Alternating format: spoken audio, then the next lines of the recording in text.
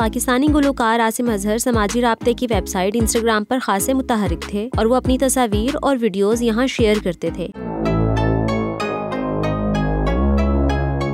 ताहम अब अचानक इन्होंने अपने इंस्टाग्राम पर शेयर करदा तमाम मवाद डिलीट कर दिया है। स्क्रीनशॉट वायरल होने के बाद सोशल मीडिया सारिफिन आसिम अजहर से मुतलिक मुख्तलिफ़ कयासराइयाँ कर रहे हैं। तकरीबन तीस लाख के करीब फॉलोअर्स वाले अकाउंट पर अब कोई तस्वीर या पोस्ट मौजूद नहीं। ताहम अदाकार के ऐसा करने की वजह सामने न आ सकी और न ही इन्होंने इस हवाले से कोई तबसरा किया। गुलकार ने इंस्टाग्राम पर एक जूम आईनी स्टोरी भी पोस्ट की जिसमें लिखा था कि अपने आप को तलाश करने के लिए सबसे पहले खुद को खोना पड़ता है।